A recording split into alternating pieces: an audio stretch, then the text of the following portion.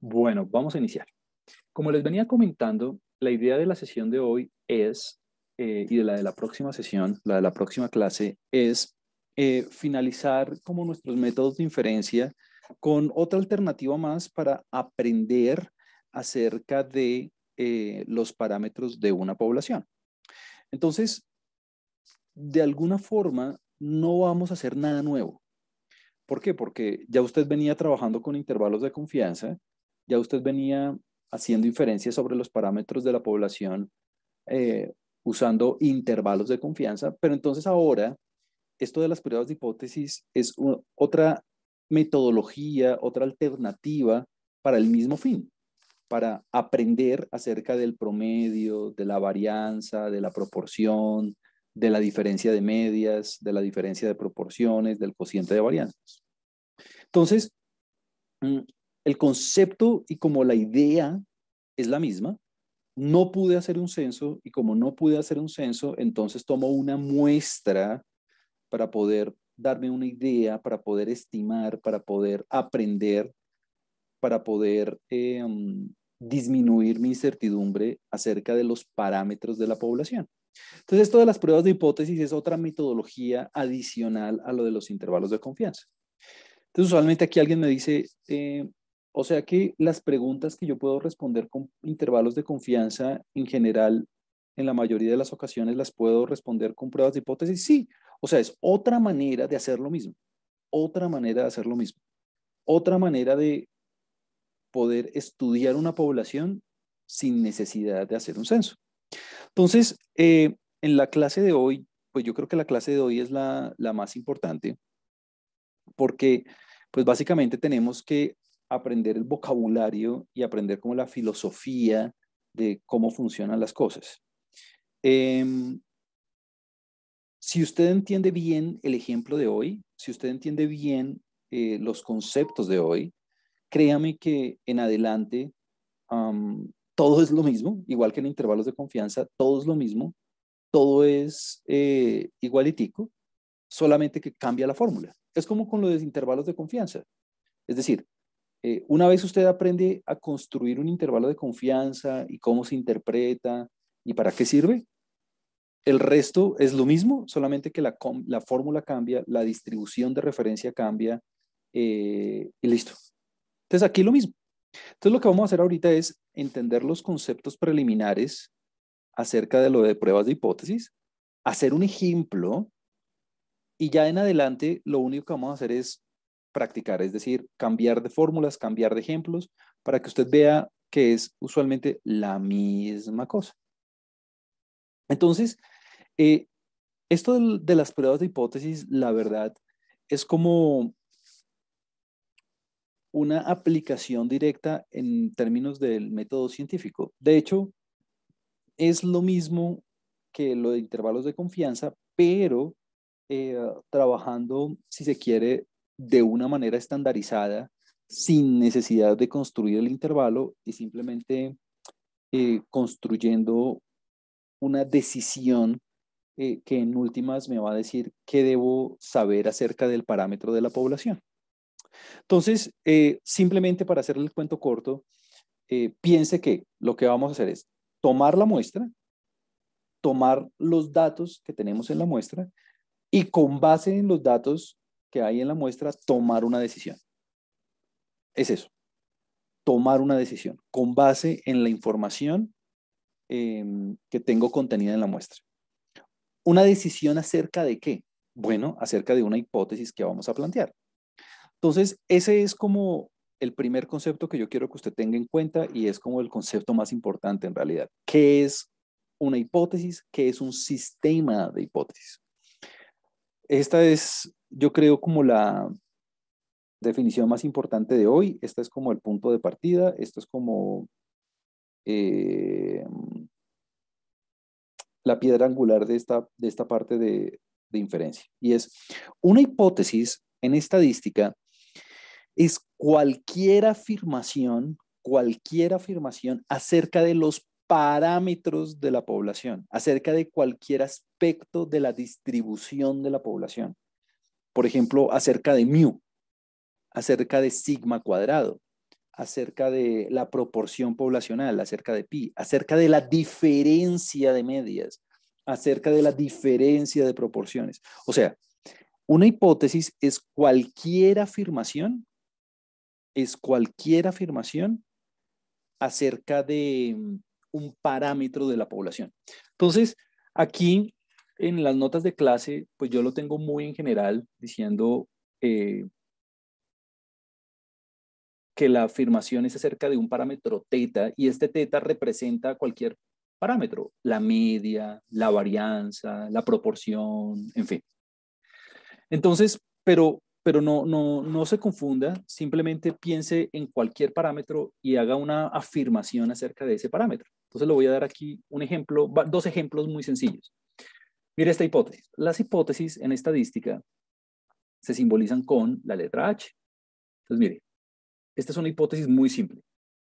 Mi hipótesis estadística dice que el promedio de la población es igual a 3. Mm, 3 millones. En promedio, a nivel poblacional, estoy afirmando que la media es 3.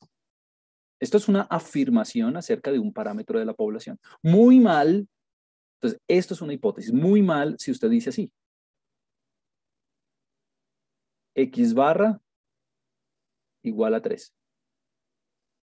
Esta es una afirmación, aquí usted está diciendo que el promedio muestral es igual a 3, pero esto no es, no constituye una hipótesis estadística, esto no, esto sí. ¿Por qué no? Ah, porque esto es una afirmación acerca del promedio de la muestra, no de la población. Eh, Juan Camilo, ¿tienen que ser así de fáciles? No, hay otras, hay otras hipótesis un poco más elaboradas. Mire esta. El promedio, voy a, voy a cambiar de parámetro. La varianza de la población es mayor que uno. Ese es, esta es otra hipótesis estadística. Otra hipótesis estadística. Em, la proporción poblacional la proporción poblacional es diferente de 0.5, de 50%. Ah, bueno, todos estos son hipótesis estadísticas porque son afirmaciones acerca de alguna característica de la población.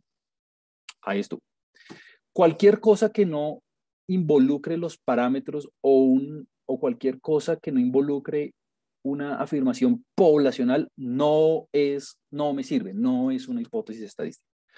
Eh, Juan Camilo, ¿de dónde sale ese 3? ¿De dónde sale ese 1? ¿De dónde sale ese 0,5? De la aplicación, es decir, este 3, este 1, este 0,5, no, no es que usted tenga que calcularlos o despejarlos o no. La, el mismo caso de estudio, la misma necesidad, la, la misma curiosidad científica le dice a usted qué debe poner ahí. ¿Será que el promedio de los ingresos en la población es de 3 millones? Esa es la hipótesis.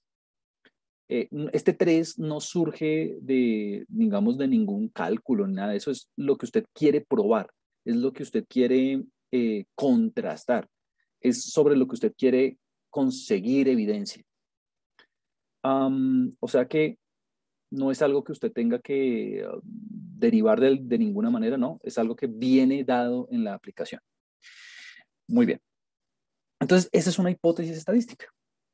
Es eso, cualquier afirmación acerca de un parámetro de la población. Eh, en las notas de clase, en las notas de clase, eh, um, mire que yo hago una distinción y esta distinción es una distinción que no es que haga yo, es la distinción que se hace usualmente y es nosotros como tenemos que tomar una decisión, como nosotros tenemos que ver si con base en la muestra tenemos suficiente evidencia para apoyar o no la hipótesis que me interesa, pues tenemos que hacer una división. Y esa división es lo que se conoce como un sistema de hipótesis. Un sistema de hipótesis es eh, um, una, una pareja conformada por la hipótesis nula y la hipótesis alternativa. Entonces, en este punto, estoy seguro usted me va a decir, bueno, un sistema de hipótesis es la pareja conformada por la hipótesis nula y la hipótesis alternativa. Entonces, ¿qué es la hipótesis nula y qué es la hipótesis alternativa? Ah, pues bueno, veamos. La hipótesis nula, la hipótesis nula la vamos a simbolizar así con H sub 0. H sub 0. La hipótesis nula es mi punto de partida.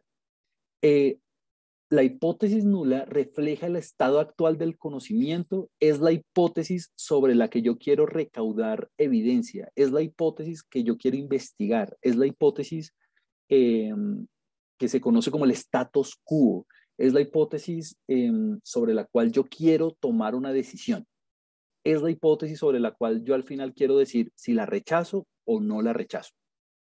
Entonces, em, usualmente se escribe así con H sub 0. Y esta hipótesis no es algo que usted tenga que, um, digamos, deducir o algo así, no, es, surge naturalmente del problema y es la hipótesis em, sobre la cual usted quiere encontrar evidencia.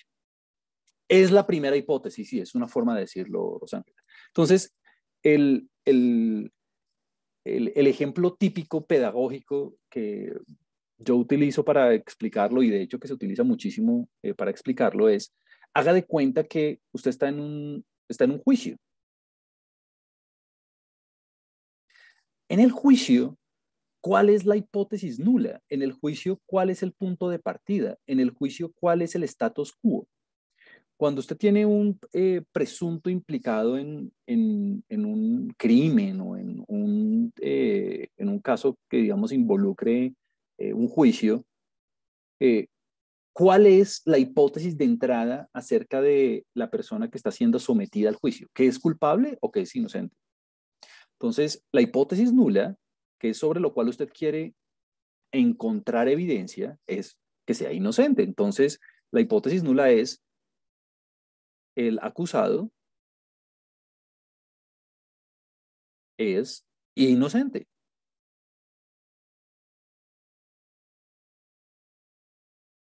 Ese es el status quo, ese es el punto de partida. Así está construido el sistema legal y es sobre lo cual uno busca evidencia. Entonces, mire, esto del juicio es el ejemplo perfecto para entender esto de pruebas de hipótesis. Y es, lo que uno hace es recolectar una muestra en, estadística, lo que uno hace es recolectar la información de una muestra y con base en la información de la muestra, ver si hay suficiente evidencia o no para rechazar o no rechazar la hipótesis nula. Igualito que en un juicio. En un juicio, lo que hace la fiscalía, por ejemplo, es recolectar tantas pruebas como sea posible para ver si se debe rechazar o no rechazar la hipótesis nula. Obviamente, eh, esa hipótesis nula yo lo debo contrastar frente a algo, eh, frente a algo. Es decir, una vez yo tome la decisión de si rechazar o no rechazar la hipótesis nula, eh, ¿cuál será la hipótesis alternativa? La hipótesis alternativa sería H1 y usualmente, usualmente eh, es lo contrario de la hipótesis nula, ¿no? O sea que, ¿cuál sería en este caso? El acusado es culpable. Pero entonces mire la filosofía. La filosofía del asunto es todo, todo nace del punto de partida. Todo nace de la hipótesis nula. Todo nace de la hipótesis nula. Es decir, todos mis cálculos, todo lo que yo haga se hace bajo la, bajo, asumiendo que la hipótesis nula es verdadera. Es decir, de entrada a un juicio, la persona es inocente hasta que se demuestre lo contrario. Entonces, lo que yo hago, y la idea de esto de las pruebas de hipótesis es, con base en la información de la muestra, ver si debo rechazar o no rechazar la hipótesis nula. Y mire la jerga, rechazar o no rechazar la hipótesis. Usted nunca va a decir eh, acepto o la hipótesis nula es verdadera o no. No, no, no, no, no. Usted jamás va a saber si la hipótesis nula es verdadera. Eh, Juan Camilo, ¿cómo así que jamás voy a saber que? Pues claro, porque es que usted no hizo el censo. Usted jamás va a saber que la hipótesis no es verdadera porque usted jamás hizo el censo. Es decir, eh, lo mismo que en el juicio, usted jamás va a saber, a menos de que sea Dios, si el, acusado es inocente o no. Lo que pasa es que usted no tuvo, tuvo suficientes pruebas para condenarlo, eso es otra cosa. Lo mismo en estadística. Yo planteo la hipótesis nula, tomo la muestra y con base en la muestra, bajo el supuesto de que la hipótesis nula es verdadera, hago los cálculos y después de hacer los cálculos miro si tengo suficiente evidencia para rechazar o no rechazar la hipótesis.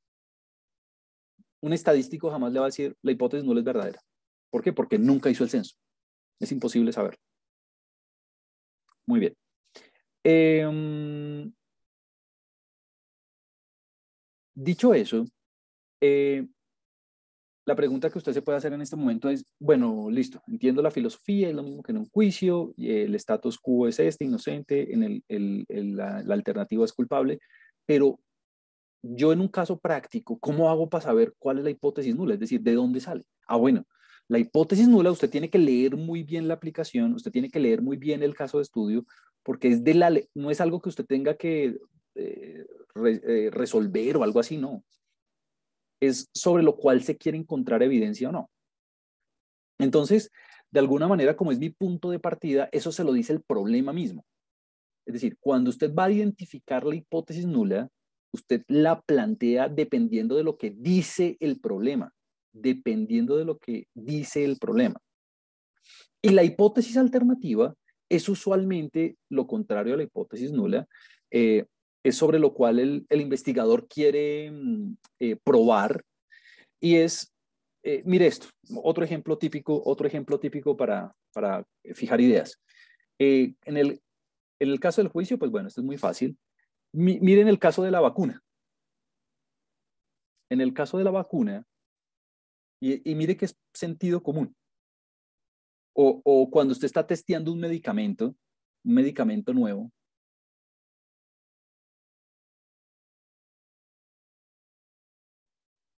Cuando usted tiene un medicamento nuevo y quiere ver si lo va a sacar al mercado o no, ¿cuál cree que es la hipótesis nula? Es decir, ¿cuál es el punto de partida?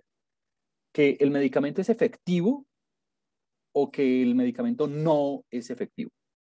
Es decir, si yo, si yo quiero ver si un medicamento es, eh, si un medicamento es eh, nuevo, sirve eh, para, mm, para eh, tratar una enfermedad, el punto de partida, el status quo, es el medicamento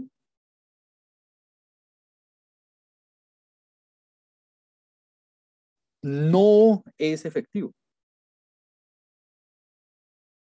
Usted lo que hace es buscar evidencia, buscar evidencia de que sí lo sea. Es decir, el punto de partida es que el efecto no existe. El punto de partida es que el medicamento no sirve.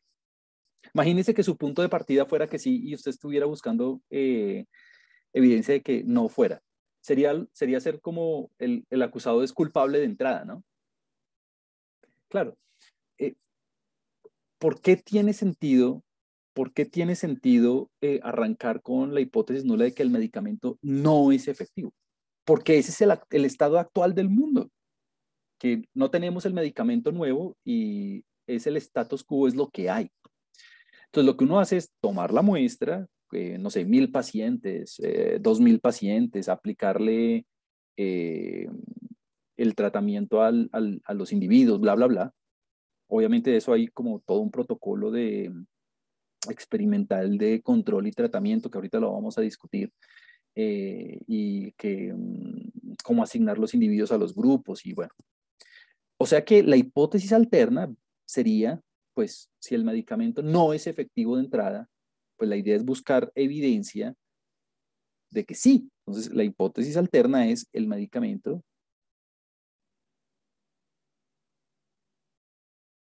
sí es efectivo.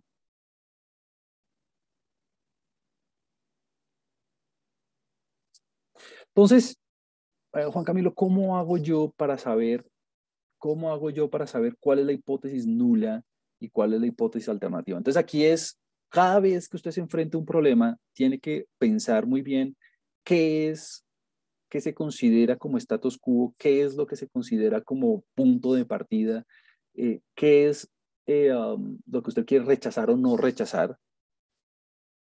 Eh, um, y usualmente en la hipótesis alterna, es, así es como está construida la teoría, contiene la hipótesis de lo que quiere probar el investigador, o sea, que sí es efectiva la vacuna, por ejemplo, que la persona sí es culpable. Muy bien. Entonces, ¿en qué consiste todo esto de pruebas de hipótesis? Esto de la prueba de hipótesis, eh, de hecho las fórmulas son muy fáciles. las fórmulas son multiplicaciones y divisiones, la verdad. Em, es con base en un test, con base en unas fórmulas, con base en un procedimiento, con base en un protocolo, ver si la muestra me permite rechazar o no rechazar la hipótesis nula. La hipótesis nula. Entonces, óigame muy bien. Aquí la conclusión es, ¿hay suficiente evidencia para rechazar la hipótesis nula? Esa es una opción. O no hay suficiente evidencia para rechazar la hipótesis nula. Punto. Nunca jamás me vaya a decir, eh, acepto la hipótesis nula o la hipótesis nula es verdadera o la hipótesis alterna es verdadera o no. O, hay suficiente evidencia para rechazar la hipótesis nula con base en la información de la muestra obvia o no hay suficiente evidencia para rechazar la hipótesis nula. Punto. Se acabó. Mm, no es más. Entonces, cuando usted haga un ejercicio o una aplicación o cuando usted se enfrente a un problema de estos, siempre piense en que tiene que plantear dos hipótesis, tiene que hacer un test, tiene que hacer una prueba y al final del día usted toma una decisión. O rechazo o no rechazo la hipótesis nula. Punto. Se acabó. La hipótesis nula, no la alterna, la nula. Entonces, ¿cuál es la mayor dificultad? La mayor dificultad que yo percibo en los estudiantes cuando están haciendo los talleres, pues usted ya tiene la solución de los talleres y eso, pero cuando usted los esté haciendo, piense muy bien qué va a poner en la hipótesis nula y qué va a poner en la hipótesis alterna. O sea, no, no es que usted tenga que, que de alguna manera descubrirlo de alguna forma, no. Leyendo muy bien el problema, usted dice, ah, bueno, aquí lo que hace más sentido es que mi punto de partida es que la vacuna no es efectiva, lo que sí hace más, y la, y la alternativa es que sí sea efectiva. Eh, a que sea culpable, la hipótesis nula o que sea inocente, que, que, perdón, la hipótesis nula es que sea inocente, la hipótesis alterna lo contrario, que sea culpable. Es eso. Eso únicamente se lo dice el problema. Muy bien. Ahora, eh, otro ejemplo, otro ejemplo que es como la motivación de, um, del ejemplo que está construido en estas notas de clase. Entonces, eh, usted tiene el, el, problema de investigación o, la idea de, de, motivación, pues, acerca de, de, esto de las pruebas de hipótesis, es este. Se busca evaluar la efectividad de dos tratamientos para bajar de peso. Se busca evaluar la efectividad de dos tratamientos para bajar de peso. Uno de ellos es dieta eh, únicamente y el otro es dieta más actividad física. Entonces usted tiene dos alternativas. El primer tratamiento es únicamente dieta, únicamente manejar alimentación. Y el otro tratamiento es ah, la dieta más actividad física. Entonces, la pregunta de investigación es, ¿será que existen diferencias significativas entre los dos tratamientos? ¿Será que existen diferencias significativas entre los dos tratamientos? Ahora, yo le pongo este problema como para motivarlo de alguna forma, y esto tiene como eh, una aplicación directa en, en la estadística, pero no es el único caso, ¿no? Piense usted, por ejemplo, que tiene dos grupos, hombres y mujeres, y quiere comparar a nivel poblacional el ingreso. Entonces, ¿será que existen diferencias significativas entre los ingresos promedios de hombres y mujeres? Entonces, es lo mismo, es lo mismo. Entonces, en este caso, pues, ¿qué hace más sentido, qué hace más sentido plantear? Ah, pues fácil, la hipótesis nula es que no hay diferencias significativas entre los dos tratamientos. Ese es mi punto de partida. Mi punto de partida es que lo que ocurre con el primer tratamiento, que es únicamente dieta, no cambia respecto a eh, lo que ocurre con el segundo tratamiento, que sería la dieta más el ejercicio físico. O sea que este es un ejemplo de dos proporciones. Teta 1, aquí tengo un comentario en el chat, ya lo voy a mirar. Teta 1 es la proporción de personas que bajan de peso. Teta 2 eh, um, que con solo dieta, ¿no? Y teta 2 es la proporción de personas que bajan de peso con dieta y actividad física. Entonces, ese es mi punto de partida, que no hay diferencias significativas, que eh, um, las dos cosas dan lo mismo. Entonces, ¿cuál es, la, ¿cuál es la alternativa? Ah, pues la alternativa es que sí hay diferencias, ¿no? Que sí es diferente, la proporción de personas es diferente. Exacto, partimos de que no hay diferencias. Ese es el status quo. ¿Por qué? Porque lo, sobre, lo que, sobre lo que yo quiero probar, sobre lo que yo quiero ver si hay efectividad o no, es si hay eh, diferencias. Entonces, mi, mi recomendación es, cuando usted vaya a hacer los problemas y demás, piense para identificar la hipótesis nula, piense cuál es el punto de partida, piense em, qué es lo que menos implicaciones em, experimentales o, qué, o cuáles son las, la hipótesis eh, que implica menos consecuencias en, un sentido práctico. ¿Por qué? Porque si su punto de, de partida es que la persona es culpable, pues de una la tiene que condenar, porque ese es su punto de partida. Si usted está diciendo que su punto de partida es que la vacuna es efectiva, pues entonces póngala en el mercado ya, porque es efectiva. Ese no puede ser su punto de partida. Lo mismo aquí, si su punto de partida es que eh, no es lo mismo, entonces ya tiene que decir cuál es mejor que el otro. Ese es, el, ese es, el, ese es como el, el raciocinio. En, en H1 yo voy a poner lo que yo quiero probar lo que yo quiero probar. Ahora, inmediatamente, estoy seguro que aquí ya alguien se, habrá dado cuenta de esto. Y la respuesta es sí. Y mire, estoy seguro que alguien ya se dio cuenta de esto y es, si la hipótesis nula, Juan Camilo, si la hipótesis nula, Juan Camilo, es que la proporción de personas que baja de peso con dieta es igual a la proporción de personas que tiene dieta más, que baja de peso con dieta más ejercicio físico, pues bueno, entonces eh, la hipótesis alterna es que eh, teta 1 es diferente de teta 2, o sea que hay diferencias significativas entre los dos tratamientos, que la proporción de individuos que baja de peso um, bajo los dos tratamientos difiere significativamente.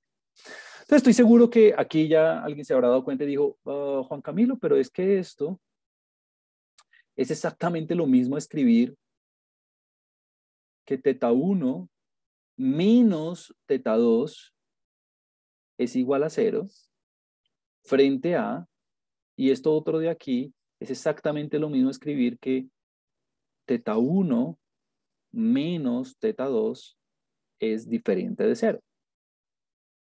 Claro, es lo mismo, es exactamente lo mismo. O sea que eh, si yo cojo y armo un intervalo de confianza para la diferencia de proporciones, para teta 1 menos teta 2, eh, recuerde cuál es el intervalo de confianza para la diferencia de proporciones. Es coger la primera proporción muestral menos la segunda proporción muestral, más o menos y aquí viene el margen de error y el margen de error es em, P1 por 1 menos P1 sobre N1, recuerde que N1 es la cantidad de personas o individuos en la primera muestra, más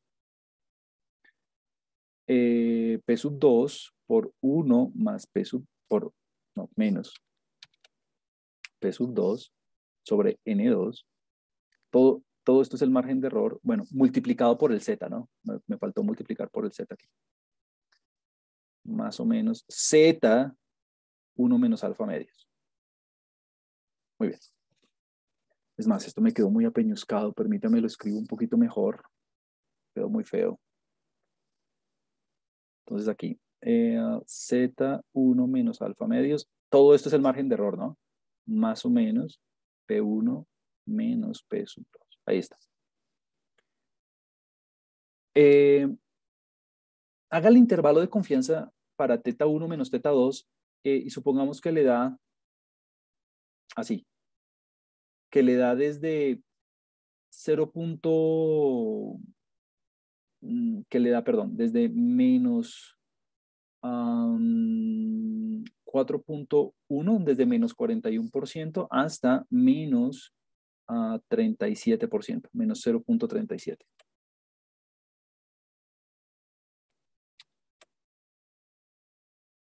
Es decir, usted hace su estimación puntual coge la proporción de individuos en la muestra, en la primera muestra que baja de peso de acuerdo con la dieta y le resta la proporción de individuos que baja de peso en la dieta más el ejercicio físico y luego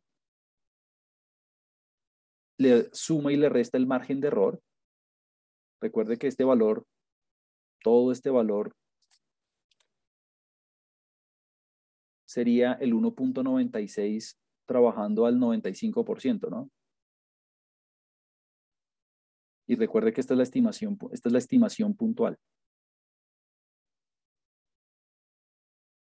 O sea que si usted hace ese cálculo con unos datos y le da aquí la estimación puntual y luego se desplaza para la izquierda el margen de error y se desplaza para la derecha el margen de error,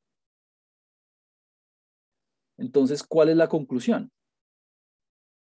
con una confiabilidad del 95%, con una confiabilidad del 95%, la diferencia de proporción poblacional entre los que bajan de peso con dieta y los que bajan de peso con dieta más ejercicio físico se encuentra entre menos 41%, esto es menos 41%, y menos 37%. Sí, perfecto. Pero este intervalo pasa por cero este intervalo, este intervalo de confianza pasa por, pasa por, por cero. El cero está aquí. No. O sea que existen diferencias significativas entre los tratamientos. Sí existen porque no pasa por cero. O sea que cuando yo haga la prueba de hipótesis, cuando yo haga la prueba de hipótesis, ¿qué cree que va a pasar? Supongamos que usted hace el intervalo de confianza primero. Usted dice, no, yo quiero resolver este problema por intervalos de confianza. Y usted hace el intervalo de confianza primero. Y le digo así. Entonces usted concluye, ah, entonces existen diferencias significativas entre, em, entre los dos tratamientos a favor, a favor del el segundo tratamiento, ¿no? Porque los dos límites le dan negativos. Como los dos límites le dan negativos, usted está concluyendo que la proporción de personas que bajan de peso es mayor en el segundo, ¿no? Dieta más ejercicio físico. Entonces, bueno, usted hace el ejercicio, le dio, perfecto, todo muy bien. Pero entonces, si usted lo va a hacer con pruebas de hipótesis, al final, ¿qué cree que va a pasar? ¿Que va a rechazar o que no va a rechazar la hipótesis? Se rechaza la hipótesis. ¿Por qué? Porque usted ya lo hizo con intervalos de confianza y con intervalos de confianza el intervalo no pasa por cero. Entonces usted tiene su, usted cuando lo haga, todavía no lo hemos hecho, cuando lo haga, usted va a tener que rechazar la hipótesis. Eh, el 1, el 1 era dieta, eh, el, el 1, el grupo 1 era, era dieta y el 2 era dieta más ejercicio físico.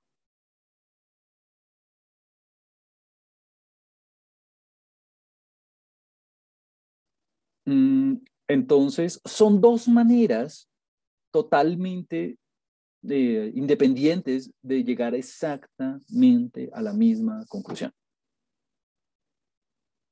Eh, entonces, si alguien me dice, Juan Camilo, con, intervalos de confianza voy a llegar a las mismas conclusiones que con de hipótesis, sí, es exactamente la misma cosa. Es exactamente la misma cosa. Entonces, lo único que de hecho tengo que enseñarle es cómo hacer la prueba, ¿no? Es decir, ya la filosofía usted la entiende, ya sabe que lo que tiene que hacer es plantear dos hipótesis, hacer un procedimiento que todavía no le he dicho cómo se hace, que depende obviamente del parámetro de interés. Y una vez usted ya haga eso, pues toma la decisión si rechazar o no rechazar la hipótesis. Punto. Esto. Entonces, em, eso es, este procedimiento, digamos que esta alternativa, este, este, este protocolo es lo que uno hace siempre. Entonces, ¿qué es lo que cambia, Juan Camilo? Pues lo que cambia son las fórmulas, dependiendo del parámetro con el que trabaje. Entonces, ¿con cuáles parámetros vamos a trabajar? Pues vamos a trabajar con la media, vamos a trabajar con la varianza, vamos a trabajar con la proporción, yo le pongo teta o le pongo pi, vamos a trabajar con la diferencia de medias, vamos a trabajar con el cociente de varianzas, y vamos a trabajar con la diferencia de proporción. Eh, una pregunta que siempre me hacen y, es muy natural es, eh, Juan Camilo, si usted va a comparar grupos, ¿por qué con promedios hace diferencias? ¿Por qué con proporciones hace diferencias y con varianzas sí hace cocientes? Ah, eh, porque las fórmulas son más fáciles con cocientes. Se puede con diferencias, pero son unas fórmulas difíciles. Eh, o sea que con diferencias, el punto de referencia es cero para ver si hay diferencias significativas. Sí. O sea que cuando hago diferencias, mi punto de diferencia es cero, obvio. Porque si dos magnitudes son iguales, pues la diferencia es cero. Y su punto de referencia cuando hace cocientes es uno. No cero, ¿no? Pero bueno, eso está en el, en el otro video. Listo. Eh, o sea que lo que vamos a hacer, de hecho, de aquí en adelante, eh, de aquí al final de la clase y durante la próxima clase es hacer ejemplos. ¿Y de qué, de qué dependen los ejemplos? ¿De qué parámetro está usted trabajando? De si con una media, de si con una varianza, de si con una proporción o si con una diferencia. Pero es muy mecánico, siempre es lo mismo. Es, plantear las hipótesis, hacer el protocolo y tomar la decisión. Punto. Se acabó. Es más, yo en los talleres le pido hacerlo de las dos maneras, usualmente. Le pido hacerlo con intervalos o le pido hacerlo con, con pruebas de hipótesis. Y de hecho, se lo pido hacer de las dos maneras para que usted vea que da lo mismo siempre. Bueno, entonces, eh, vamos a hacer ejemplos, pero antes quiero que usted vea, un, pues es, es, algo lógico, pero, pero igual es bueno decirlo. Y es, mire, cuando usted está en un proceso de decisión, cuando usted está en una toma de decisiones, hay dos tipos de error que usted puede cometer. Entonces, em, ¿cuáles son los dos tipos de error? Mire, la realidad es que la hipótesis no la sea cierta o que sea falsa. Eh, Juan Camilo, pero usted me acaba de decir que yo no puedo decir si es cierta o falsa. Bueno, por eso digo que es la realidad. Esto, esto de la realidad lo sabe Dios únicamente. Es decir, usted jamás va a saber la realidad absoluta porque usted no hizo el censo. Usted jamás va a saber si la hipótesis nula es cierta o falsa porque usted no tiene acceso a la realidad, usted no tiene acceso al censo, usted no tiene acceso a toda la información. Pero bueno, con base en la información de la muestra, usted va a tomar una decisión. O rechaza o no rechaza la hipótesis. Entonces, si la realidad que usted jamás va a saber, que usted jamás eh, va a, tener en cuenta. Usted jamás va a poder contrastar, digamos. Es em, cuando usted rechaza la hipótesis nula, siendo la hipótesis nula cierta. Ese es el error tipo 1. Ese es el error tipo 1. Es el error que usted comete cuando rechaza la hipótesis nula cuando es cierta. Es decir, cuando usted mete a alguien inocente a la cárcel. Ese es el error tipo 1. Dado que la persona es inocente, dado que la, dado que la persona es inocente, usted rechaza la hipótesis y lo mete a la cárcel. Entonces, es, la probabilidad de cometer ese error es lo que nosotros vamos a llamar alfa. Entonces, lo escribo aquí, alfa es igual a la probabilidad de cometer el error tipo 1. Yo sé que esto parece un trabalenguas, pero pues en realidad yo siempre me acuerdo con lo del juicio. Y es, ¿cuál es la, cuál es la probabilidad del error tipo 1? Es la probabilidad de, dado, dado que la hipótesis nula es cierta, dado que la persona es inocente, yo rechazo la hipótesis nula. Mi protocolo me dice que debo rechazarla. Obviamente yo no le he dicho cuál es el protocolo, pero pues todo depende del parámetro. Eh, cuando yo no rechazo una hipótesis y la hipótesis es cierta, ¿cometí un error? No, no cometí un error, entonces perfecto. Cuando yo rechazo una hipótesis nula y la hipótesis nula es falsa, ¿cometí un error? No, perfecto, eso es muy bueno. Es decir, cuando yo no rechazo una hipótesis, cuando yo no condeno a alguien inocente, estoy perfecto. Cuando yo condeno a alguien culpable, que en verdad es culpable, entonces perfecto. El otro error es el error tipo 2 y es el error que usted comete cuando usted no rechaza la hipótesis nula siendo falsa. Es decir, cuando usted a alguien culpable eh, um, lo deja libre. Entonces, ¿cómo sería el error tipo 2? El error tipo 2 se lo escribo aquí. El error tipo 2 se lo escribo acá. El error tipo 2 es beta usualmente y es la probabilidad de, es la probabilidad de cometer el error tipo 2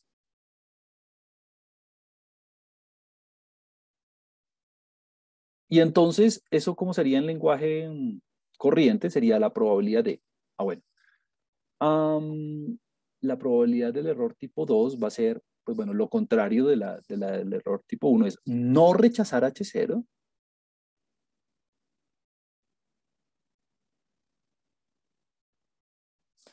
Cuando H0 es falsa, cuando H0 es falsa. Dado que H0 es falsa, entonces aquí usted lo puede escribir de dos maneras. Puede escribir que H0 es falsa o eh, que H1 es verdadera. Cualquiera de las dos. Entonces, yo sé que es un trabalenguas, pero piénselo como en el, en el, en el, piénselo como en el juicio, por ejemplo. Entonces, que aquí la persona es, es culpable, perdón, la persona es inocente, Entonces, el error tipo 1 es el error que yo cometo cuando la condeno, cuando lo declaro culpable. Y eh, el error tipo 2 es, siendo la persona culpable, yo la dejo libre, ¿no? Muy bien. Em, Piénselo en otro contexto, por ejemplo, en el de la vacuna. ¿Cuál sería el error tipo 1? El error tipo 1 sería decir que el medicamento sí funciona cuando en realidad no. Cuando en realidad no funciona, estoy diciendo sí hay suficiente evidencia para decir que sí funciona. ¿Cuál sería el error tipo 2? Decir que no funciona cuando en realidad sí. Muy bien. Ahí usted tiene como dos, otro error, otro, otro ejemplo. ¿Cuál sería el error tipo 1 en el caso de los tratamientos? Sería decir que hay diferencias significativas entre los tratamientos cuando en realidad no las hay. Y el error tipo 2 sería, pues decir que no hay eh, diferencias entre los tratamientos cuando en realidad sí las hay. Entonces yo sé que parece un trabalenguas, pero son cosas totalmente diferentes. Entonces aquí uno tiene que, uno tiene que eh, pensar en dos cosas. La primera es, ¿Qué es más grave? ¿El error tipo 1 o el error tipo 2? ¿Qué es más grave? Eh, ¿Condenar a alguien inocente o dejar libre a alguien culpable? ¿Qué es más grave? ¿Decir que una vacuna sí funciona cuando en realidad no o decir que no funciona cuando en realidad sí?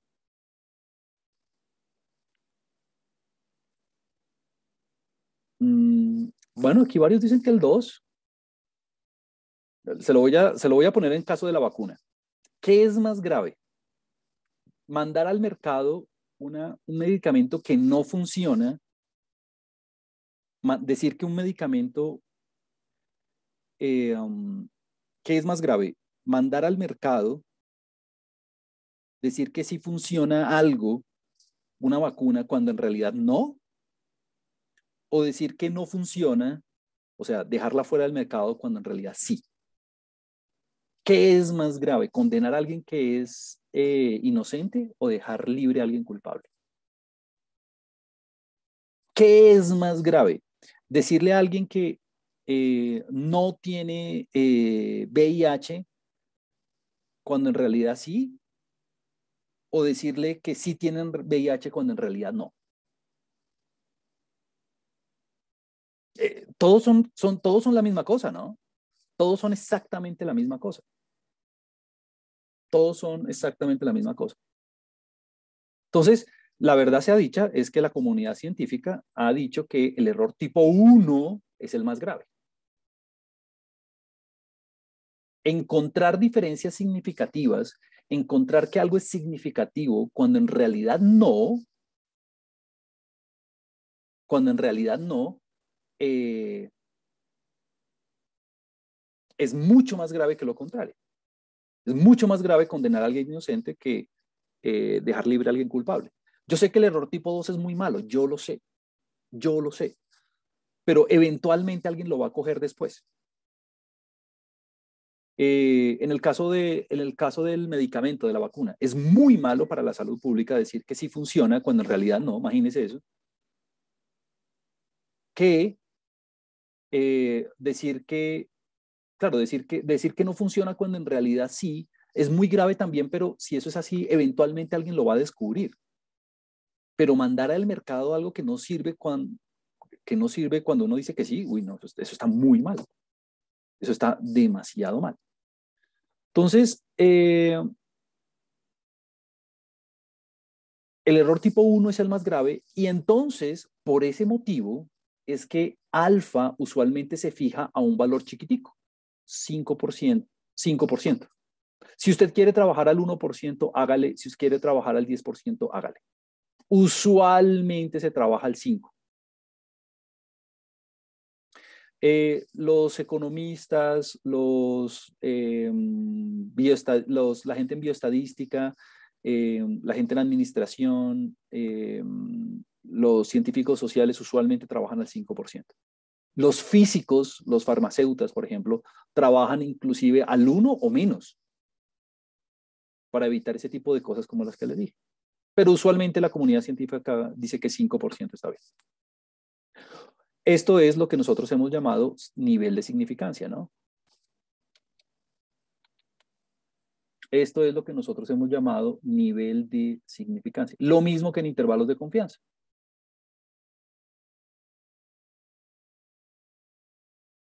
nivel de significancia. O sea que cuando usted hace 1 menos alfa,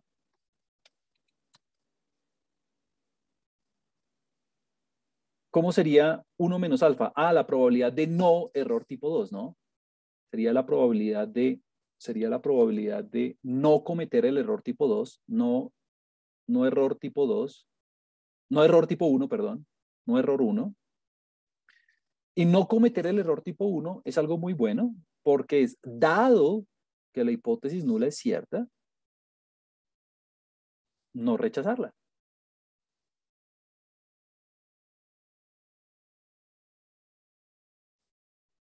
Y obviamente si yo estoy trabajando al 5%, entonces pues 1 menos alfa va a ser 95, por ejemplo, que es lo que nosotros hemos llamado confiabilidad.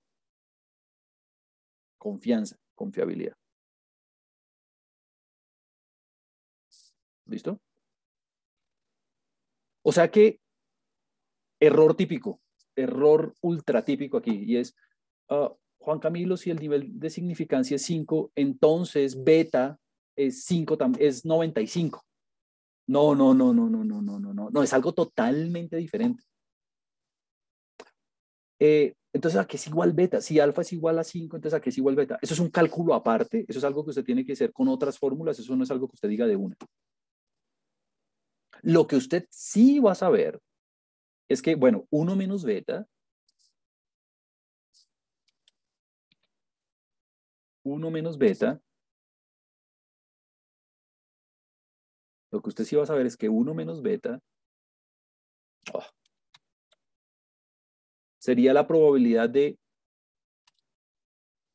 no error tipo 2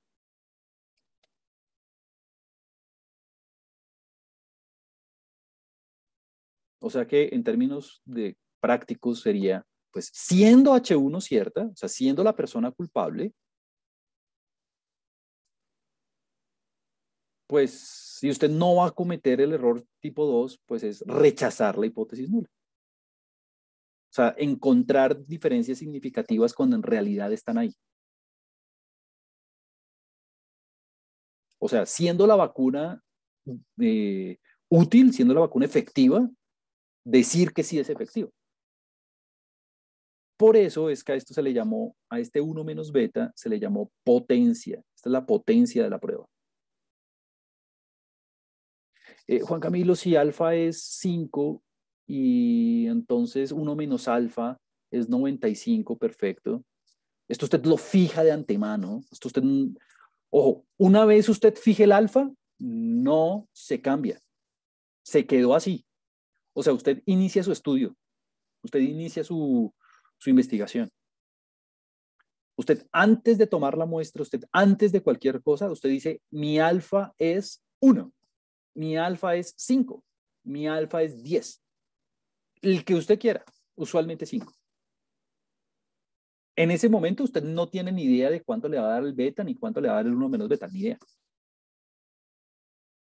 Pero ¿por qué le digo? ¿Por qué le digo que usted fija el alfa? Porque lo que pasa es que si usted, em, si un investigador empieza a jugar con el alfa, supongamos que usted está probando la vacuna. Listo y, resultó que al 5% mm, no hay efectos significativos, entonces eh, usted no la puede sacar al mercado. ¿Por qué? Porque no rechazó la hipótesis nula, no la rechazó. Entonces ahí alguien le va a decir, uh, no, mm, mejor eh, trabajemos al, en lugar del 5, trabajemos al 10 eh, y así el intervalo de confianza le queda más amplio eh, entonces ahí sí usted va a tener evidencia para rechazar la hipótesis nula. Entonces,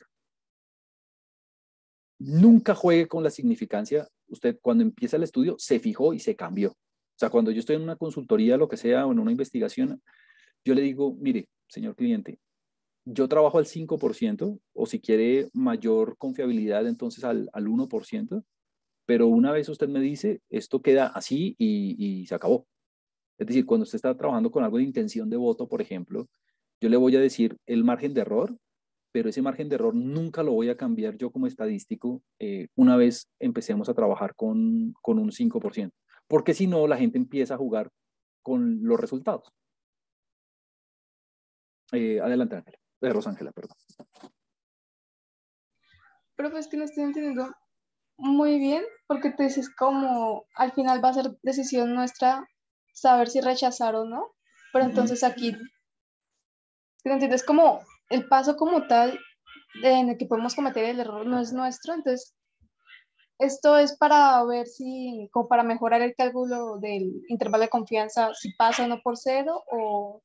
Oh, oh, oh ok, ok, ya, ya, ya entiendo la pregunta, ya entiendo la pregunta. Muy bien. Entonces, mire, este 5%, voy a decir dos cosas, voy a decir dos cosas, de hecho tres.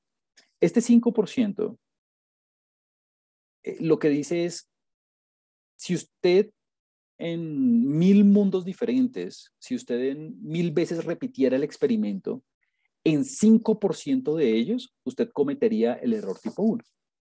Es decir, si yo eh, tuviera mil tierras paralelas y en las mil tierras paralelas yo estuviera testeando la vacuna o en esas mil tierras paralelas yo estuviera eh, haciendo el juicio donde la persona es presuntamente cometió un crimen, en 5% de las veces yo cometería un error tipo 1. Nunca lo voy a saber porque nunca sé si hice el censo, nunca hice el censo. Lo mismo que en intervalos de confianza. Lo mismo que en intervalos de confianza. Recuerde lo que yo le decía en intervalos de confianza. En intervalos de confianza, ya le doy la palabra a Saray, en intervalos de confianza yo tengo el valor verdadero del parámetro, digamos de mu, y yo construyo muchos intervalos, eh, muchos intervalos, de los cuales el 95% sí pasan por el valor verdadero, es decir, no cometen ningún error. Pero hay, hay, hay 5% de ellos que sí, que no pasan, que cometen un error, que no pasan por el valor verdadero. Lo mismo aquí en, en, en pruebas de hipótesis. En pruebas de hipótesis, como es otra manera alternativa de hacer intervalos de confianza, es otra manera de resolver las mismas preguntas, pues vamos a seguir trabajando con el alfa y con el 1 menos alfa. Entonces, lo que yo estoy diciendo es que cuando usted haga intervalos de confianza o cuando usted haga pruebas de hipótesis, cualquiera de las dos, usted fija el nivel de significancia y nunca lo cambia. Es decir, con ese es el que va a calcular el margen de error, con ese es el que va a tomar la decisión. Lo que pasa es que usted sabe que el 5% de las veces que usted haga ese protocolo, ese experimento, esa investigación con muestras diferentes, se va a equivocar. Eh, Camilo, ¿cómo hago yo eh, para saber si me equivoqué o no? Nunca jamás lo va a saber, porque nunca jamás hizo el censo. Lo mismo que en, en intervalos de confianza. O sea, yo sé que si yo repitiera el experimento eh, un millón de veces, en 5% de esas veces me voy a equivocar y voy a cometer el error tipo 1. Eh, para esta vacuna en particular, para la vacuna eh, X, ¿cometí el error? Mm, ni idea. ¿Por qué? Porque no hice eso. No pude probar, no pude testear la vacuna en todos los individuos del mundo y no pude testear la no testear la vacuna en todos los individuos del mundo como para comparar. Saray, adelante. Eh, no, profe, yo te iba a preguntar algo parecido, pero entonces eso sería como darnos a nosotros mismos un margen de error a, la decisión que nosotros tomamos de rechazar o no la hipótesis. Exactamente eso, literalmente eso. Y, aprovecho ese comentario, porque alguien me puede decir, eh, pues Juan Camilo, si eso es tan grave, si condenar a alguien inocente es tan grave, ¿por qué no le pone alfa cero? ¿Por qué no, por qué no pone alfa cero? Es decir, si, si decir, si condenar a alguien inocente es muy malo, si decir que una vacuna sí funciona cuando en realidad no, si decirle a alguien que eh, eh, no tiene VIH cuando en realidad sí. Entonces, ¿por qué no le pone cero y ya? Porque, piénselo lógicamente, si usted le pusiera esto cero, pues básicamente no tendría que condenar a nadie, ¿no? ¿Cuál es la única manera de, cuál es la única manera, cuál es la única manera de no cometer el error tipo 1? ¿Cuál es la única manera en la práctica de no condenar a alguien inocente? Pues dejando a todo el mundo libre, o sea, nunca rechazando, nunca rechazando la hipótesis nula. Pero pues eso no tiene gracia, ¿no? Pues porque entonces déjelo libre a todo el mundo ya. Entonces, necesariamente, necesariamente, usted tiene que aceptar un nivel de error. Por eso es que se le pone muy bajito, o uno, o cinco, o máximo diez. Usualmente se trabaja con cinco. Pero usted una vez elija el cinco, se acabó. Usted no varía eso. Usted antes de hacer su investigación, antes de hacer su experimentación, antes de hacer su consultoría, antes de lo que sea, dice, yo trabajo con 5% y se acabó. Punto y su cliente, su jefe, su líder, su... Eh, usted tiene que decir eso al principio. Eh, dice, no, yo quiero, ¿está de acuerdo o no está de acuerdo? ¿Quiere mayor confiabilidad o no? Pero antes de todo, si no, yo no firmo resultados y yo no, no firmo un reporte. Si usted quiere empezar a jugar con ese nivel de, de confiabilidad, eh, es decir, si a mí me dicen, Juan Camilo, eh, vamos a hacer una encuesta para reportar los resultados electorales de alguna cosa o la intención de voto de alguien, yo digo, listo, muy bien. Yo trabajo al 95%. bueno, perfecto, Juan Camilo, usted está muy bien, usted hace sus cuentas, entonces yo entrego mi informe, mi reporte, y me dicen, uy, no, Juan Camilo, eh, trabajemos mejor al 90, de pronto ese intervalo de confianza o el margen de error le cambia a un candidato. Le dije, no, yo trabajo al 95, yo eso se lo dije, yo no juego con el nivel de significancia. Eh, ahora, ah, bueno, el beta se calcula después. El beta, que es la, la otra probabilidad, se calcula después. Ahora, son fórmulas diferentes, son fórmulas diferentes, no se fijan, eso se calcula, eso se, esto sí se calcula, todavía no le he dicho cómo. Ahora, eh, lo que sí usted debe saber es que el alfa y el beta son inversamente proporcionales. Alfa es inversamente proporcional a beta. A medida que usted incrementa el error tipo 1, disminuye el error tipo 2. Pero si usted disminuye el error tipo 1, aumenta el error tipo 2. Usualmente lo que pasa es que uno, fija el alfa a 5% o sea que tiene una confiabilidad del 95, y luego el error eh, tipo 2 le va a dar alrededor del 80, del 90, algo así. Y el error tipo, y, y la potencia, perdón, y luego, lo dije mal, y luego el error tipo 2 le va a dar del 10, del 15, una cosa así. Y la potencia le va a dar del 80 y pico, algo así da. Usualmente sucede así. Pero esto no es algo que usted derive de alfa o de, no, esto usted lo calcula después. Esto sí se calcula. Se calcula después.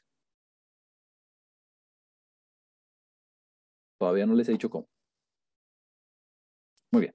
Entonces, en este punto, estamos apenas para, eh, um, todo esto ya lo discutimos. Esto del valor P lo voy a decir ahorita. Eh, entonces estamos apenas para hacer un procedimiento de prueba con un ejemplo de una. Ya ahorita le explico este cuadro. De una, este. Vamos a hacer este, vamos a hacer este, este ejemplo de una vez para que usted, para que usted sepa cómo funciona eh, el asunto.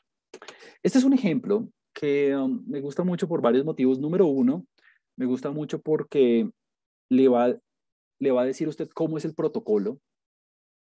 Este protocolo que vamos a ver se hace siempre, es decir, los pasos que usted va a ver en este ejemplo se hacen siempre. No cambian. Lo único que cambian son las fórmulas, pero el procedimiento es igualito siempre. O sea, si usted entiende este ejemplo, los entendió todos. Em, y lo vamos a hacer con base en una simulación. Entonces, algo que me gusta también del ejemplo es que estos datos no son reales, son datos simulados y son datos simulados para que usted vea cómo funciona el procedimiento. ¿Listo? Entonces, mire, cómo, mire, mire el ejemplo. Y de una vez vemos en R cómo se hace y todo. Mire, el ejemplo consta de eh, una muestra de 100 estudiantes. Entonces, tenemos un tamaño de muestra de tamaño 100. Entonces, este es el ejemplo número uno. Si usted entiende este ejemplo, entiende cualquiera. Entonces, vamos a trabajar con un tamaño de muestra de 100. Ah, bueno, es un tamaño de muestra más o menos grande. Súper. No, más o menos grande no, es grande, porque es mayor o igual que 30. Muy bien.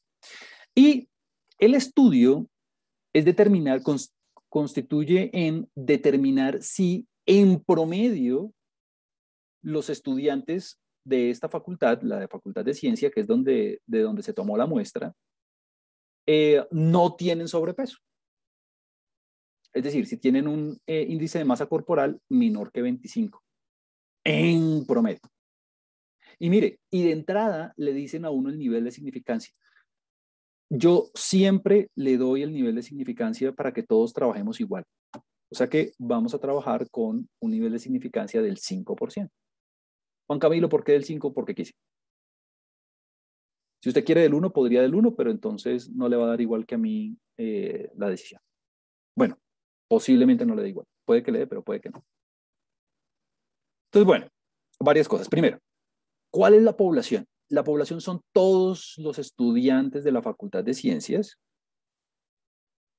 para la cual usted está observando el índice de masa corporal, es decir, la X, la variable de referencia es el IMC, el índice de masa corporal, para todos los estudiantes de la Facultad de Ciencias. Esa sería la población de referencia. Esa es la población sobre la cual yo voy a hacer inferencia. ¿Y pude hacer un censo? No, por eso es que me tocó tomar un tamaño de muestra 100. Y mire el objetivo del estudio. El objetivo del estudio es determinar si en promedio, ver si hay suficiente evidencia o no eh, para determinar si los estudiantes no tienen sobrepeso. Para determinar que no tengan sobrepeso. Ese es el objetivo del estudio. El objetivo del estudio es determinar que no tienen sobrepeso. Eso de una es lo que me dice a mí la hipótesis alterna. ¿Por qué? Porque eso sobre lo que eso sobre lo cual yo quiero recolectar evidencia, eso sobre lo cual yo quiero probar como estadístico, como persona que se trabaja al análisis de datos. O sea que mi punto de partida va a ser lo contrario, que sí tienen sobrepeso. Eh, Juan Camilo, ¿toca hacerlo así? No, solamente que ese fue el objetivo. Ese fue el objetivo del planteamiento inicial. Entonces, mu va a ser el valor esperado, el promedio poblacional del IMC en todos los estudiantes de la Facultad de Ciencias. Ese es mu. Mu es el promedio poblacional del IMC. ¿Sé cuánto da? No, ni idea cuánto es mu. Ni idea cuánto es mu. Juan Camilo, ¿usted cómo hizo para plantear la hipótesis? Pues la hipótesis la planteé leyendo la pregunta. El objetivo del estudio es determinar si en promedio los estudiantes de toda la población no tienen sobrepeso. O sea que mu menor que 25. Mire que no tuve que calcular nada, simplemente tuve que leer. Solamente tuve que leer. O sea que la hipótesis nula es lo contrario. Es mi punto de partida, que es mayor o igual que 25. Lo contrario. Eh, Juan Camilo, hubiera estado mal si yo lo hubiera escrito así.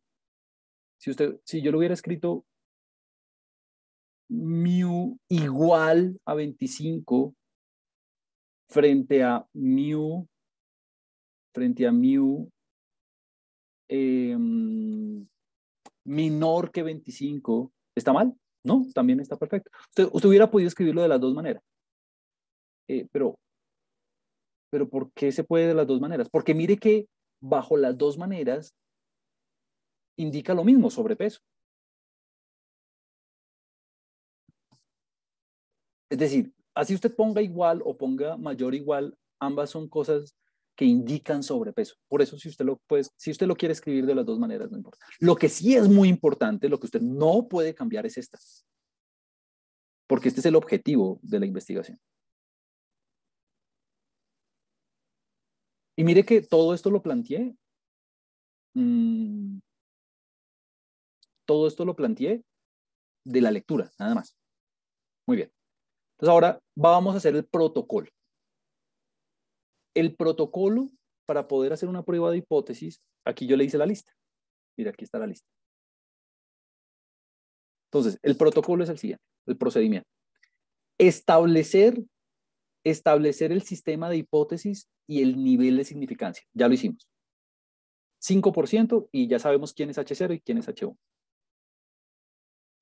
Entonces, ¿cuál es el segundo paso? Bueno, el segundo paso es calcular el valor P, pero entonces tengo que decirle un par de cosas para, que usted sepa qué es el valor P. Entonces, bueno, mire, eh, cuando usted está trabajando con un promedio, lo primero que usted tiene que saber es cuál es el estadístico de prueba y cuál es la distribución de referencia. ¿Cuál es el estadístico de prueba y cuál es la distribución de referencia? entonces ahí usted dirá, uy, no me diga que me tengo que saber las fórmulas de memoria. No, para eso está este cuadro. Este cuadrito es un resumen que está tomado del libro del profesor Mayorga. Este cuadrito es un resumen de eso. Mire, juzgamiento de mu igual a mu sub 0. Eh, ¿Cómo así mu sub 0? Ah, bueno, pues mu sub 0 para nosotros es 25, ¿no? Nuestro valor de referencia nuestro valor hipotético de referencia es 25. Ese es mi sub 0. Listo. Muy bien. Entonces vamos a leer el cuadrito. ¿En qué sistema estoy? ¿En el sistema A, en el sistema B o en el sistema C? Eh, ah, bueno, ¿en qué sistema estoy? eh, la alternativa es menor que, o sea que estoy en el sistema A. Ah, bueno, estoy en el sistema A. Perfecto. Entonces, estoy en el, esto hace, eh, todo esto, todo esto es un ejemplo del sistema A. Muy bien. Entonces, bajemos. El valor de sigma, el valor de la varianza de la población, la variabilidad del índice de masa corporal en todos los estudiantes de la Facultad de Ciencias, ¿es conocido? No, la respuesta es no. La respuesta es no. Sigma, sigma cuadrado es desconocido. Esto es lo que pasa usualmente en todas las aplicaciones. En todas las aplicaciones, usualmente la varianza de la población es desconocida. Muy bien. Ah, bueno, como es desconocido, me voy para la, de, la izquierda porque no lo conozco. Y aquí me sale mi estadístico de prueba. Me sale mi distribución de referencia. La voy a copiar. Mi estadístico de prueba es un estadístico de prueba T. Ah, bueno, ya nosotros sabemos cuál es la T, ¿no? Y es así. Se lo voy a escribir aquí. Yo ya me lo sé de memoria, pues porque sería X barra eh, menos mu, menos mu sub 0, eh, sobre S sobre raíz de n. Este, esto es lo que se llama el estadístico de prueba. Este es el, este es el valor de referencia. Eh, Juan Camilo, pero eso no está escrito ahí en el, en el cuadro. Mire que la raíz de n está arriba. Ah, bueno, sí, ¿no? Usted sabe la ley de la oreja, ¿no? Producto de medios por producto de extremos. Recuerde que esto es igual a raíz de n por x barra menos mu sub 0 sobre, raíz, sobre s. ¿Quién es ese? La desviación estándar muestral, ¿no? S es la desviación muestral. Eh, eh, Juan Camilo, ¿y por qué le toca la desviación muestral? Ah, pues porque el sigma es desconocido, ¿no? Como el sigma es desconocido, como la variabilidad de la población es desconocida, pues le toca trabajar con sigma. Y ya casi que terminó. Y le digo que casi que terminó por dos motivos. El primero es, uh, ¿la n la tiene? Sí, mire, la n la tengo. O sea que ya la puedo reemplazar ahí. Este es mi estadístico de prueba, así se llama. Porque con este estadístico es que voy a tomar la decisión. Ya le digo cómo. ¿La n la tengo? Sí. Ah, bueno, entonces sería, esto me queda igual a, ah, esto me queda igual a raíz de 100, pues 10, pues yo sé que es 10, pero como por escribirlo. X barra, ah, bueno, ese es el valor de la muestra, que lo tengo también, ya ahorita lo miramos, menos mu sub 0, que sería menos 25, sobre S. Ah, o sea que necesito X barra, necesito la información de la muestra, necesito saber cuánto me da X barra y necesito saber cuánto me da S.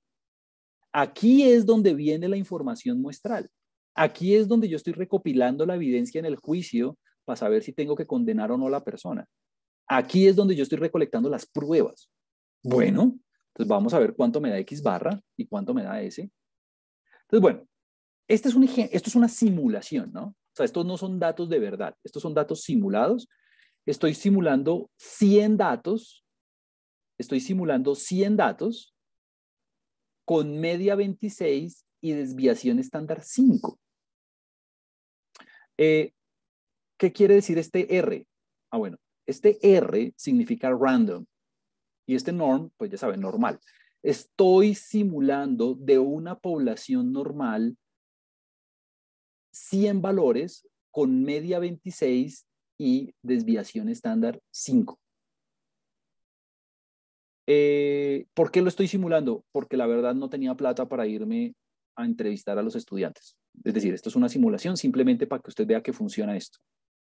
O sea que yo estoy jugando a ser Dios. Estoy jugando a ser Dios porque yo, Dios, sé quién es la media, que es 26. Yo sé quién es mu y sé quién es la desviación estándar. O sea que bajo este conocimiento de, Dios, ¿debería rechazar la hipótesis o no? Pues no debería, porque yo sé, yo Dios, estoy simulando los datos, yo Dios, estoy diciendo que la media es 26. ¿Por qué? Porque quise hacer la simulación así. Si usted quiere repetir el ejercicio con media 20, 20 hágale. O sea, yo Dios sé que la hipótesis nula es cierta. De entrada. Eh, de hecho, uno nunca sabe, esto es respondiendo a una pregunta en el chat, uno nunca sabe qué valor es simular, eso lo hace el computador. Eh, el computador hace la simulación por ti y yo quise ponerle 26 como pude. Eh, Juan Camilo, ¿por qué le puso 26 y no, y no 20? Pues si quiere, hágalo con 20 para que usted vea qué le da. O sea, esto, esto es una lección personal y lo quise hacer así para que usted, para ilustrarlo, para que usted vea que voy a tomar la decisión correcta. Si usted quiere repetir el ejercicio con 20, está perfecto. Ahora, en un caso real, en un caso real, a mí me toca ir a tomar la muestra y coger 100 estudiantes y a cada uno calcularle el índice de masa corporal. Pero pues bueno, en este caso no tuve plata y no tuve tiempo para hacer el estudio, pero eso es lo que uno debería hacer. En un ejercicio real, yo no les, yo no les voy a pedir la simulación. En un ejercicio real, yo le doy la base de datos. Es decir, en el taller y en el parcial, yo no les voy a pedir una simulación, yo les doy los datos. Yo les doy, mire, los 100 estudiantes de la, de la población, de la, de la muestra, me respondieron esto. Pero en este caso, simplemente quiero jugar a ser Dios. En este caso, yo Dios estoy diciendo la media es 26 y la desviación estándar es 5 y simulé los datos. Es decir, eh, es más, voy a abrir R, voy a abrir R, voy a abrir R y mire, voy a, voy a, voy a, voy a abrir R y, voy a repetir el ejercicio para que usted vea. Yo sé que ya me estoy pasando de tiempo, me voy a tomar 10 minutos más porque es que no quiero dejarles esto ni quiero que vean otro video. Simplemente quiero que ustedes lo vean aquí en vivo. Y si tiene que irse en este momento, eh, tranquilo, yo voy a subir el video después, así que no hay ningún problema. Entonces, mire, voy a, voy a coger los datos y voy a llamar x igual a esto, y lo copié así, de una. ¿Cuántos datos voy a simular? Voy a simular 100 datos. ¿Con qué media? Media 26, desviación estándar 5. ¡Pum! Ahí estuvo. ¿Cuáles son los datos? Véalos aquí. Ah, es más. Eh, sí, véalos aquí. Mire, la primera persona tiene un índice de masa corporal de, de 24,69, la segunda persona de 27,05, bueno, y así sucesivamente. Yo jamás le voy a poner a hacer esto. ¿Por qué? Porque yo lo que le voy a dar son los números. Yo de una en los talleres le voy a dar los números. Le voy a dar la muestra. Le voy a dar la muestra. Muy bien. Ya tenemos los datos. O sea, ya hice mi estudio, ya le medí el índice de masa corporal a mis individuos eh, y ya tengo los datos. ¿Usted cree? No, no, yo, yo le pongo la N, no, no hay que ponerlo, no hay que ponerlo. Si usted quiere escribirlo así, solamente que a mí me gusta ponerlo, pero si usted lo quiere escribir así, está perfecto. No pasa nada. Funciona igual que en Python. No, no pasa nada. Muy bien. Ahora mire, yo ya sé, yo como jugué a ser Dios, yo como simulé los datos, yo sé que la media es 26. Yo sé que la media es 26, o sea que yo sé la verdad. La verdad es que la hipótesis nula es verdadera. Pero pues eso lo puedo saber en este caso, pues porque yo hice la simulación. Pero eso yo jamás lo voy a saber. O sea, yo jamás voy a saber si Falcao metió el gol o no. Jamás. ¿Por qué? Porque lo único que yo voy a tener en un ejemplo práctico es esto, los numeritos. Lo único que yo voy a tener en un ejemplo práctico es la media de X, que me da, ¿me va a dar 26? No, me va a dar, mire, 25.97 yo lo que voy a tener es este 25.97. Eso es lo que yo voy a tener. Yo el 26 jamás lo voy a tener.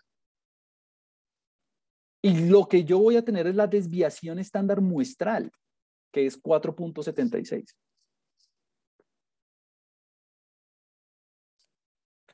Eh, eh, Juan Camilo, ¿y por qué el 25 le dio 25.9 y no 26? Ah, porque esto es una muestra de 100 personas. Jamás me va a dar el 26 cerradito. Yo sé que la simulación lo hice con mu igual a 26. Yo sé que la simulación, yo jugué a ser Dios y yo le dije, computador, mu es 26. Pero ¿por qué la media me dio 25 si la media es 26? Ah, pues porque es que es una muestra, no le va a dar igual. Obviamente, si en lugar de 100 toma un millón de personas, pues le, le va a dar más cerquita 26. Y obviamente, si yo en lugar de 100 tomo un millón de personas, me va a quedar alrededor, le va a quedar más cerquita de 5. Obvio, porque tengo más información. Recuerde nuestro ejemplito de los dardos. Pero entonces, en un ejemplo real, usted jamás va a saber esto, jamás. Es más, jamás va a saber que es normal o no. Jamás va a saber si es normal o no. Lo que puede hacer es un gráfico, un histograma o puede hacer algo así. Es más, puede hacer otra prueba de hipótesis que la vamos a ver después. Listo. Muy bien. Entonces, ¿ahora qué hago con esos números? Ah, pues con esos números usted calcula su estadístico de prueba. Mire, lo reemplaza aquí, ya lo pone ahí, póngalo. 25.97 y pongo aquí el otro, 4.76.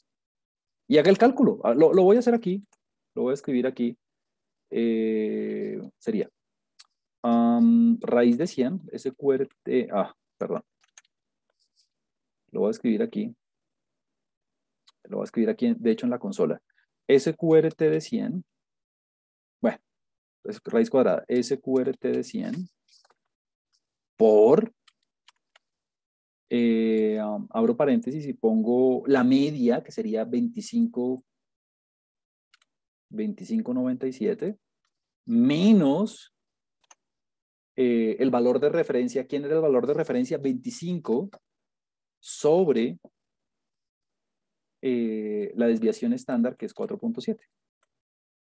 Y eso me da, ah, me da 2.04.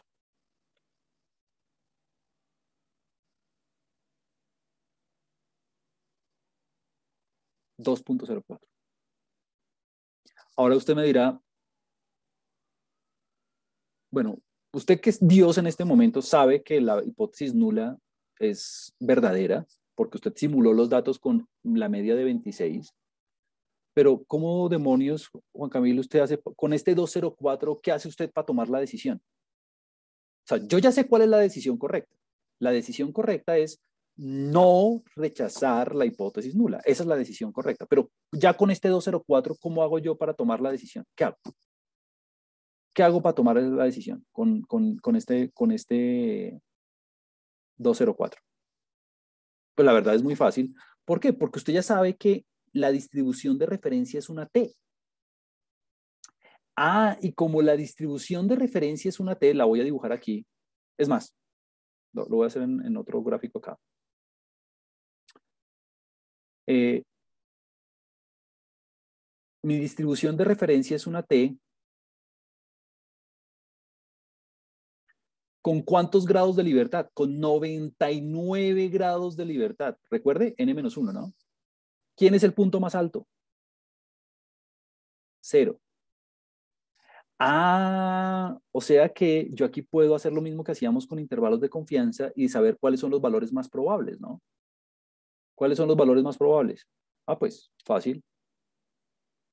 Los valores más probables son este, este que este este estos son los menos probables, perdón.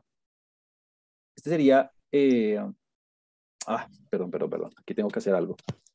Aquí tengo que hacer algo y es lo siguiente, y es, antes, antes, de, antes de ir, eh, tengo una T al 99%, al 99 grados de libertad. Entonces, eh, aquí viene una explicación muy importante. ¿Por qué? Porque yo sé que el estadístico de prueba me dio 2.04. Entonces la pregunta es, eh, bueno, ¿qué hago yo con este 2.04? Ah, bueno, entonces lo que usted debe hacer es lo siguiente. Lo primero lo que usted debe hacer es fijarse en su hipótesis alterna. La hipótesis alterna es mu menor que 25. Ah, menor que 25, menor que 25. Menor que 25 es la cola izquierda o la cola derecha. Ah, menor que 25 es la cola izquierda. Únicamente la cola izquierda. ¿Por qué? Porque ahí dice menor. Únicamente la, la cola izquierda. O sea que esta es una prueba a una sola cola. Porque dice menor. Cola izquierda. Obviamente a dos colas es cuando diga diferente, ¿no?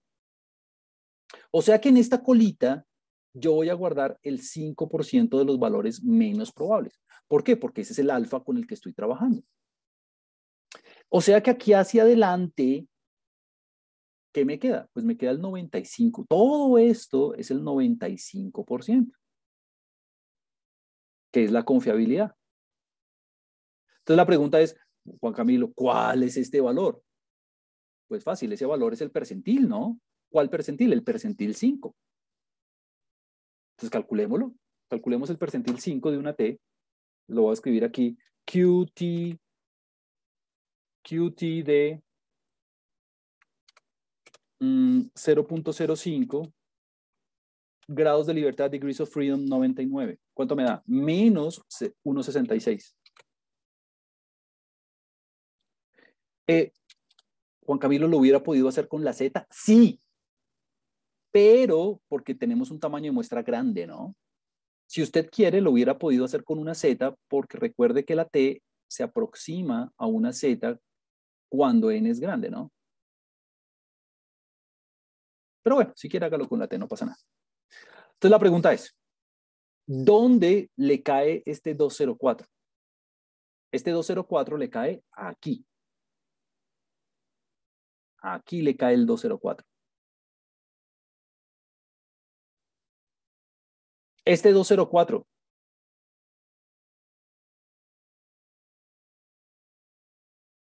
¿Pertenece a la región menos probable de valores de acuerdo con la distribución de referencia? La respuesta es no. Entonces, la región de rechazo es desde menos 2.66 hacia atrás. Esta es la región de rechazo. Sí.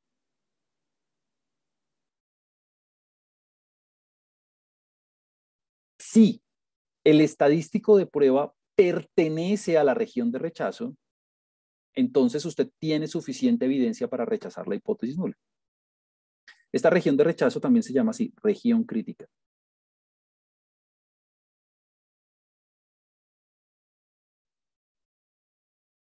¿204 pertenece a la región crítica? No, no pertenece a la región crítica. O sea que la, la pregunta es, 204, o sea, el T que le dio 2.04 es menor que menos 1.66, que es el percentil de referencia? Esa, es la pregunta.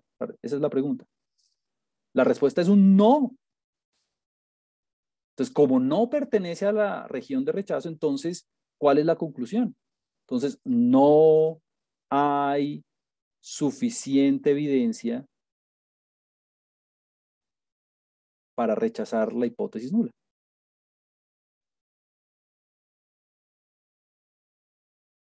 O sea que los estudiantes no tienen sobre, o sea que eh, si no rechacé la hipótesis nula, quiere decir que no tengo suficiente evidencia para asegurar que no tengan sobrepeso. Como no rechacé la hipótesis nula, como no tengo evidencia para rechazar la hipótesis nula, entonces no tengo evidencia para asegurar que no tengan sobrepeso. O sea, no tengo evidencia para condenar a la persona. Y terminé. Todavía no le he dicho qué es el valor P, se lo voy a decir la próxima vez. Esa es otra manera de hacerlo. Entonces, eh, Juan Camilo, ¿Tomó la decisión correcta? Sí tomé la decisión correcta porque yo sabía que mu, yo como era Dios, yo sabía que mu era 26. O sea que tomé la decisión correcta, no rechacé la hipótesis nula. Pero es que resulta que en un caso real usted jamás va a saber esto.